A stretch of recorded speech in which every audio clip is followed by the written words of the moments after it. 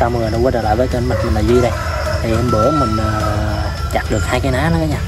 Thì uh, mình hôm nay mình sẽ làm rồi mình quay cho cả nhà coi nha. Thì ở đây mình bữa là mình có uống rồi mình có hơi lửa rồi. Thì đây một cây thì bữa nay mình sẽ làm trước cây này nha. Đó thì uh, cái cây này à, dốt lại là nó sẽ ngay cả nha cái cây bên uh, bên tay trái nó bự cho nên mình sẽ vót cây trái lại cho nó nhỏ lại. Nên nó sẽ ngay thôi.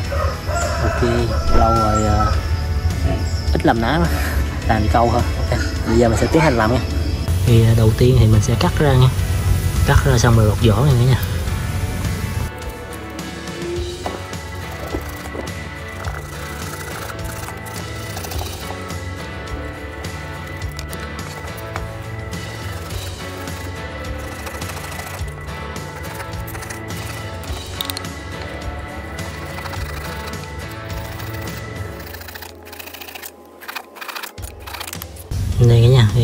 xong rồi.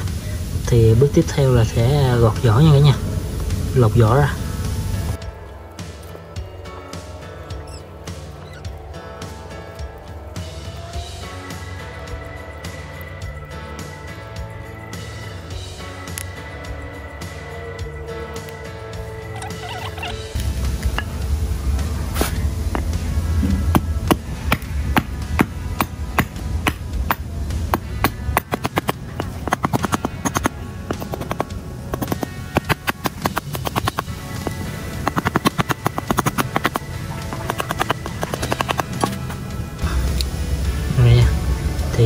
Theo mình sẽ dùng dao, mình ờ, gọt mấy cái mắt này nha nha.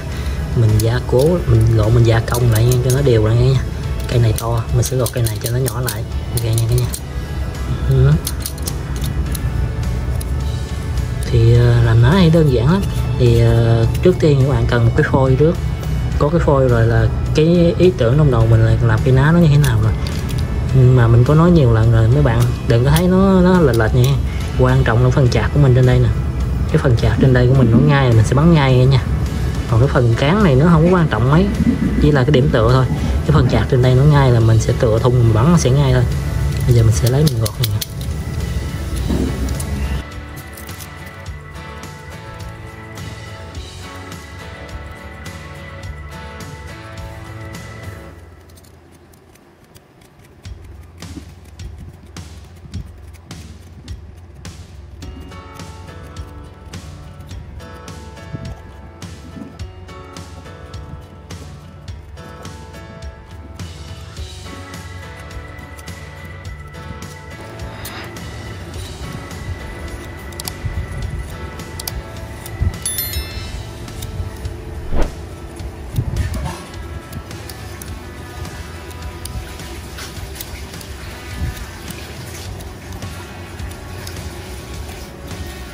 gọt cái đó nhỏ lên có nha.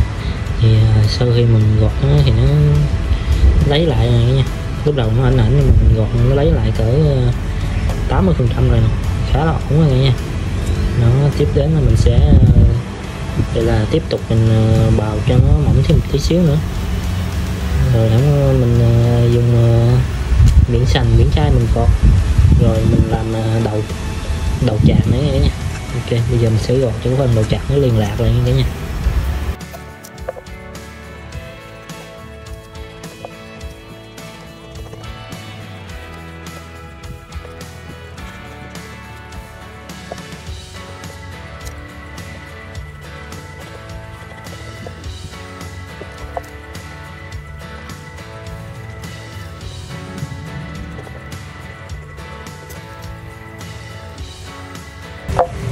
mình sẽ cắt cái rãnh nha. Cắt rãnh để ờ, làm ờ, đầu chặt nha cả nhà.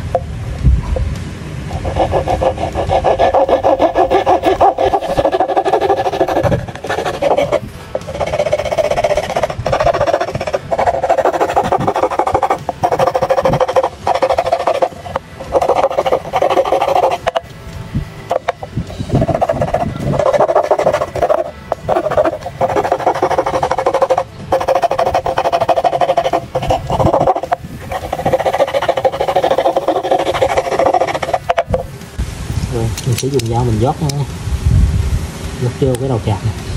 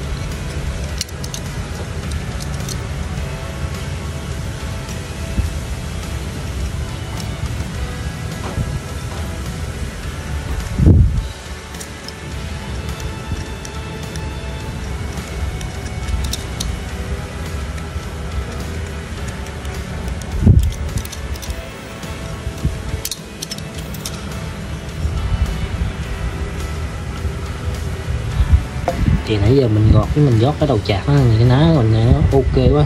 Nhai bông luôn không thôi nói mà ngay bông thì nó cũng không có đúng nha. Nó ngay tầm 95 phần trăm lại nha. Nhưng mà hai cái đầu chạc này nó bằng bắn sẽ rất là ok nha. Chủ yếu là phần đầu chạc này nó bằng nó ngay là bắn được à, bắn ngay nha bắn chuẩn trước sau thì rất là đẹp luôn nha. Đây tiếp theo là bước uh, dùng miếng xanh nhé nha. Miếng xanh mình sẽ gọt mình cho nó láng này nha. Nè nó còn mấy cái vết dao nè rất là nhiều vết dao mình sẽ dùng miếng xanh mình cạo cho nó láng này nha miếng xanh hoặc miếng ly cũng được nữa nha. Nhưng mà miếng ly rất là bén nha. Miếng xanh thì nó đỡ bén hơn miếng ly, nhưng mà cạo rất là ok nha. Mình sẽ dùng miếng xanh mình cạo nữa nha.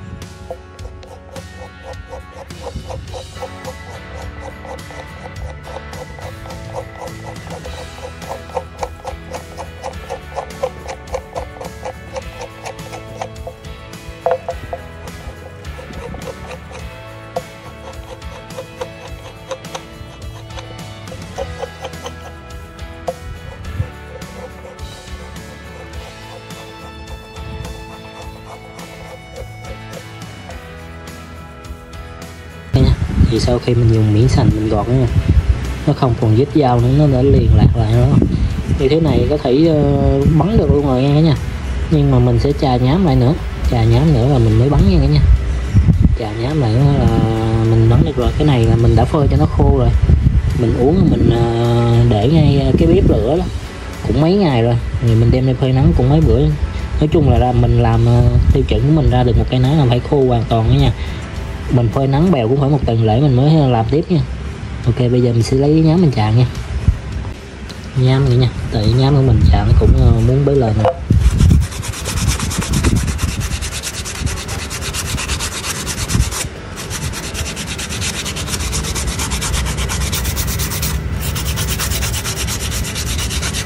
khi như má mà mình chà nhám nó thì ờ, nó láng, nó liền, nó bóng, mình cầm mình bắn nó cũng đã nữa nó có cái độ trơn vừa phải thôi, chứ đừng có bóng quá. Bóng quá nó ruột à. Bắn à, mình không thích bóng quá, mình chỉ cho nó có một cái độ nhám vừa phải thôi. Nha chứ bóng quá mình chạy với nhám, bóng quá cũng được, nhưng mà bóng quá thì mình bắn nó ưa bị ruột tay lắm. Trơn quá, cái tay mình bắn một hồi nó ra mồ hôi á. Nó sẽ double kia nó sẽ ít hai cái độ trơn rồi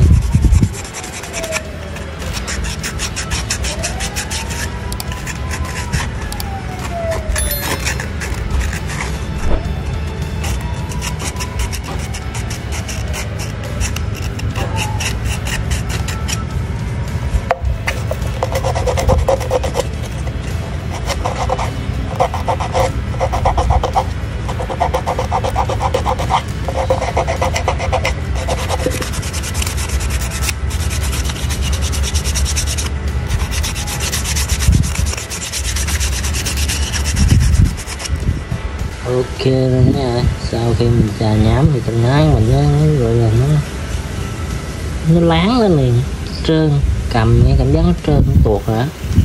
đó một cây chữ y khá là ok hoàn thiện nha cái này cột thun cho bắn luôn. Ừ. muốn ổn muốn uh, im nữa thì quết nhớt nó vô. Mình lau nhớt mình lau dầu nữa là nó sẽ rất là bền mối một không ăn nhưng mà cái cây lòng mức này đặc điểm của nó nó có mũ quá nha cho nên lúc mà mình phơi mũ nó rút vô trong cái cái thân cây rồi, cũng không có con gì ăn đâu. Rồi nhiều bạn nói cái cây này nó nó nó yếu nữa, nhưng mà thực chất là không yếu nha chạc tự nhiên à, mình không có đẻo ruột gì nhiều, không có lấn vô còn lỗi nữa. Cho nên nó sẽ không yếu. Tại vì mấy bạn ấy thấy cái thịt nó trắng á. Nói nó yếu nói nó là dễ gãy nhưng mà thực chất là không nha. Mình bắn cái ná cây lòng mứt này lâu nó biết bao nhiêu năm rồi. Là nó không có bị gãy bậy nha đặc biệt là không có gãy bậy nữa. nó không như cây trăm nha nha. Cây trăm thì nó rất là giòn. Cây trăm nó gãy thì mình nói có nha. còn cây lòng bức này thì nào giờ chưa có trường hợp bị gãy nha. Ok nha. Khá là ổn luôn quá đẹp nha nha. Lấy cái nha. Thì cuối cùng mình đã làm xong cây ná nha. Này là đúng chữ y quyền thoại luôn nha. Cây lòng bức chạc 7.5 nha. Rất là vừa tay luôn. Mình bắn chặt 7 là quá là ổn rồi. 7 7.5 là bắn rất là im nha nha. Đó, quá là đẹp luôn cái cây này là cây lồng mứt nha. Thịt nó rất là thơm ấy nha. Nói chung là không biết sao phơi khô không biết sao nhưng mà mình không khói á. Mình không khói mũ nó rút vô đây nè. Nó thơm lắm. Cái thịt nó thơm lắm ấy nha đã lắm. Đó thì cái này cái lồng bức nha. Nó vậy chứ nó rất là khó gãi khó tét nha không tét bậy luôn á. Đó. đây thì uh, clip mình làm ná này nha. Thì cây ná này thì đã hoàn thiện rồi. Quá là ok quá là đẹp nha cả nhà. Nó thì rất cảm ơn cả nhà đã quan tâm theo dõi clip của mình nhất là mấy bạn ờ, trẻ đó thích làm ná, cứ yêu cầu mình làm ná hoài á, thì mình vẫn làm nha. Nhưng mà tại vì ờ, kiếm phôi nó không có nữa nha. Nay người ta đất quan người ta phá hết rồi, không còn ờ, cây mọc quan nữa để mình kiếm phôi cho nên rất là khó kiếm. Đây là mấy cây ná mình kiếm được thì mình sẽ làm cho cả nhà coi. Ok, còn bây giờ thì mình cũng xin kết thúc cái làm clip tại đây luôn nha. Rất cảm ơn cả nhà đã quan tâm theo dõi clip mình. Nếu thấy hay thì mình một like, bấm đăng ký ủng hộ kênh GT này nha cả nhà còn bây giờ chào tạm biệt cả nhà. Hẹn gặp lại cả nhà các clip tiếp theo nha.